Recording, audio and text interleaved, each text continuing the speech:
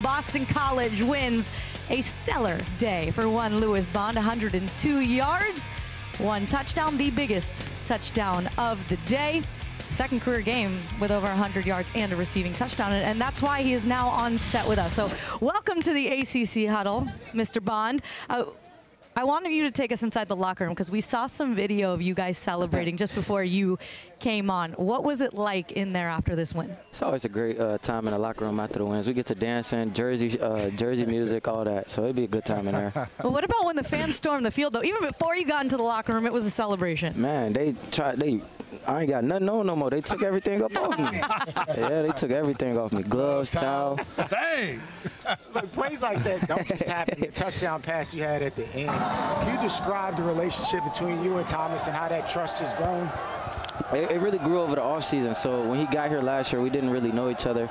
So it was chemistry building during the season. Now we had a full offseason. He just trusts me. One-on-one coverage, he gonna throw it to me, and I'm gonna make that play for him every time. I love that, man. We were sitting right here in this end zone, watching you go in for the go-ahead for the game-winning score. And I look at this angle right here, because you're kind of looking at him. You're kind of talking. What was that like? what was going through your head as that's happening? Oh, I'm gonna get chewed out for that tomorrow. I should have scored uh, faster, but um, I was just in the moment, so I just did some things that I probably shouldn't have did. it's all good. When you're about to win, you can do that, Lewis. But uh, what was the conversation like after last week? Because I felt like we all said here on this desk that you guys had a great game. Not necessarily a moral victory, but something to be positive about moving forward into this week. Yeah, we don't we don't really do moral victories here, but it was a it was something we could learn from. It was a it was a lot of stuff that we left on the table Missouri week, and we knew that, and we kind of uh, came in here lackadaisical. I would say we didn't start as fast as we should have, so that's something we still got to work on. But uh, it was good at, uh, coming back from adversity in the second half.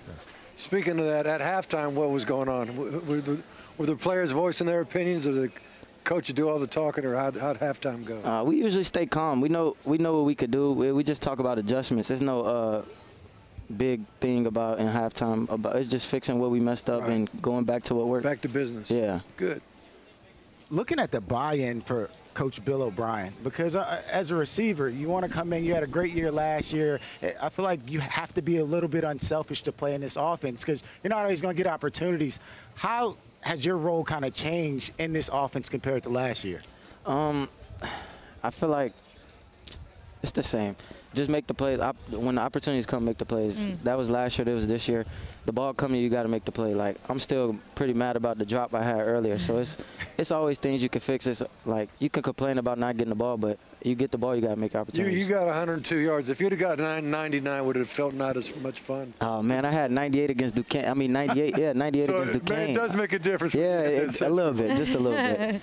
After the fact, if it's a win. How big of a deal is it not only to get the win, but also tonight on the red bandana game for you guys? Oh, this game means more to everybody. It was a packed out stadium. It, it just means a lot because everybody, Boston College, our motto is men and women for others. So we take that like big. So everybody was here. Everybody bought into that. It's a tradition that everybody buys into every year. Yeah, that's amazing, man. Let's talk about your quarterback a little bit more. And you talked about the relationship you guys have. We've all sat on this desk and kind of talked about what we think he's gotten better at. With Coach, you know, Bill O'Brien coming in, where have you seen the most improvement from him? In the passing game, trusting his eyes, trusting his feet, and just taking what the defense gives him. I feel like sometimes he last year he got to doing too much. This year he just trusts what the defense gives him and, and accepting that, not trying to always hunt the deep ball, hunt the big play. Yeah.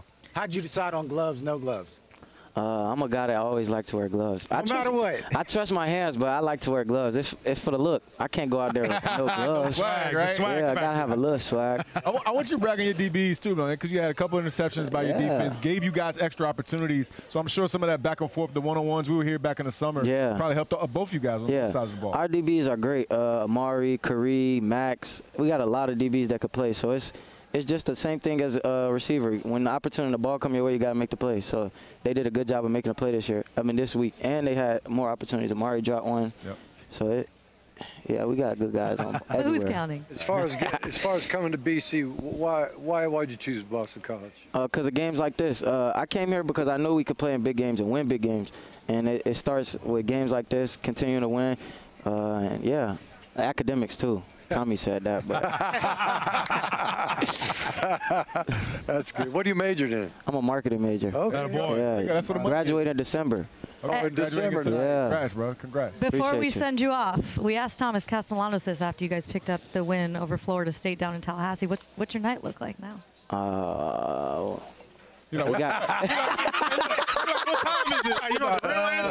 Ah, It's a Saturday. There's no class tomorrow. yeah, we're gonna celebrate tonight and then get back to business. Western Kentucky next week. That's what There we're we go. That's the plans.